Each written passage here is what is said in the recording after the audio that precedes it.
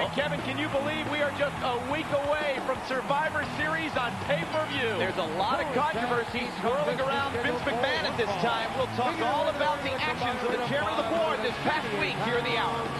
Bradshaw and Farouk, the Acolytes. Bradshaw and Farouk set for tag team action. Plenty to come in the show, including Val Venis set to take on Christian a little bit later on. Somebody informed Tony Chimel's wife, I don't think he's going to get home tonight. We welcome you to Sunday Night Heat with a huge rematch of a big matchup from Jakked last night. I'm still having nightmares of what the Acolytes did to the Hollys last Sunday night. Call it a gut feeling, folks. I think this one's going to get real ugly. And here come the Acolytes opponents, Viscera and Mideon.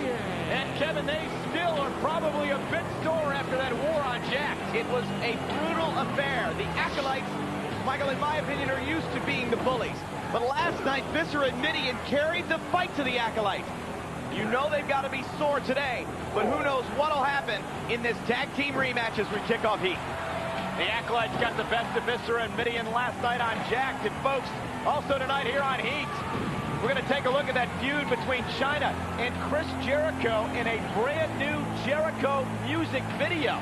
Well, how sweet will Jericho's song sound if Chyna walks away from Survivor Series still the Intercontinental Champion next Sunday on pay-per-view? I still can't believe we're just a week away from Survivor Series from the sold-out Joe Louis Arena in Detroit, Michigan. Triple H defending the World Wrestling Federation Championship against The Rock and Stone Cold Steve Austin. But the question, as you mentioned earlier, on everyone's mind, where do the, does the allegiance of Vince McMahon lie? Well, what we know from this past week, Michael, is that Vince McMahon made two crucial errors, two critical times of a match on Raw and on SmackDown and allowed Triple H to get a victory. Will Lightning strike for a third time seven days from now at Survivor Series? And the question is, Mr. McMahon hitting Shane with the championship, then Stone Cold with the championship. Were they accidents? Was it just coincidence, or is there something more to this story? Well, we'll talk a lot about that a whole lot more in the hour. And this was the problem the Acolytes had last night on Jakked, trying to deal with the size of Viscera. He's an immovable force and an unstoppable object. 450-pound Viscera now tags in Mideon and Bradshaw feeling the effects of Viscera.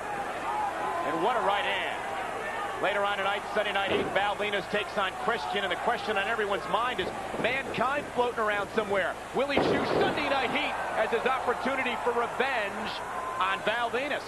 Plus, we'll also see the Dudley Boyz in tag team action later on, and Michael, the plays of the week, a musical look at the past week here in the World Wrestling Federation. The tag once again made, and Farouk and Bradshaw have done a nice job of isolating Mideon. If the Acolytes want to win this tag team war, oh. they're going to have to take advantage of Mideon.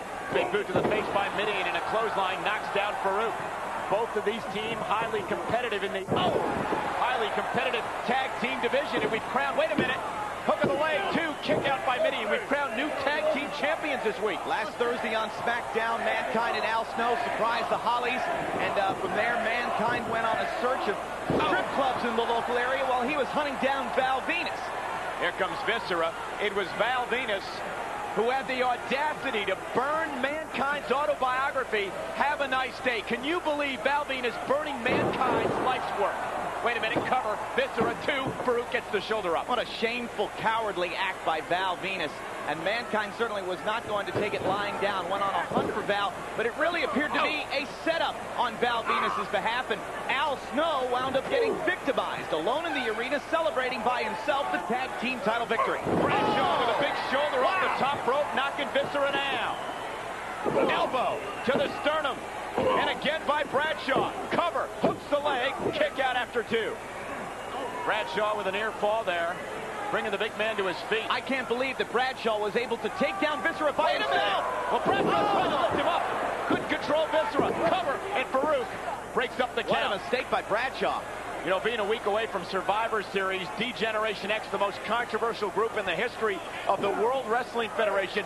What impact will DX have on Survivor Series? And what about this question involving Vince McMahon? Well, certainly everybody on paper is seeing DX adversarial to Vince McMahon. But, Michael, the actions of Vince McMahon this past week, whether they were inadvertent or perhaps if they were intentional, how will oh. they affect Survivor Series? And maybe, just maybe, what if Vince McMahon actually is in cahoots with DX? I mean, how would that affect the complexion of next Sunday's triple threat match for the World Wrestling Federation Championship at Survivor Series? Well, I'd like to believe what we've seen this past week were two separate incidents accidents, just coincidence. Yeah, but what's the old saying, Michael, about lightning striking in the same place twice? Oh! Bradshaw with a knife edge chop. And how will Stone Cold Steve Austin retaliate to being hit by the championship? We may find out on Raw tomorrow night. You know, one of the images I left SmackDown with last Thursday. Oh, this one's over. Clothesline from hell. Cover. Viscera breaks up the count. And here comes Farouk.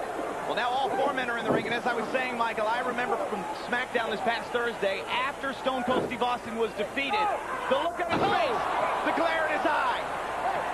Viscera with his big splash. Farouk with a chair now.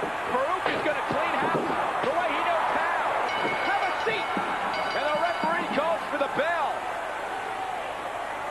Things out of control here, and Farouk had had enough. The referee has disqualified both teams. What? The official decision, a double disqualification. A double disqualification for the Acolytes and Mr. and Mideon. I'll tell you, this rivalry is far from over. And Sunday Night Heat's far from over.